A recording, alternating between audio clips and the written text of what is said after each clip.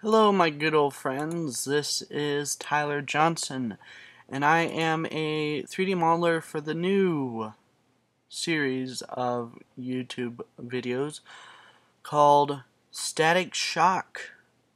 Um, today I'm just here to show you a monkey with a picture of dreadlocks behind him. No, I'm just joking. This is a 3D model of my friend Fez, who is playing lead actor of the new, um, uh, what's it called? Um, of course, what I just said, uh, the Static Shock movie. Um, I got some of his topology done on his face. This is just a little update, basically. Um, you know, if we add a modifier, a uh, subdivision surface, I'm guessing. Yeah, it should give it like its overall face and hit this little triangle right here should keep the faces, yeah, because we like it like that.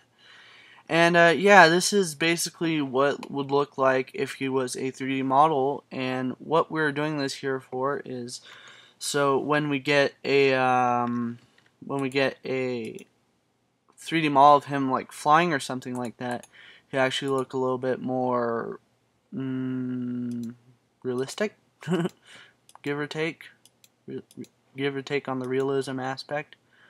Well, I'm going to try and to adjust this neck right here because we like to mess around with his neck. Yes, we do. Um, so yeah, basically what I'm just doing here is uh, using a, a little, whatever this thing's called, which I just now uh, figured out how to use proportional editing mode, I was like, geez, what the heck is this thing used for? And I was like, oh, so that's what it's used for.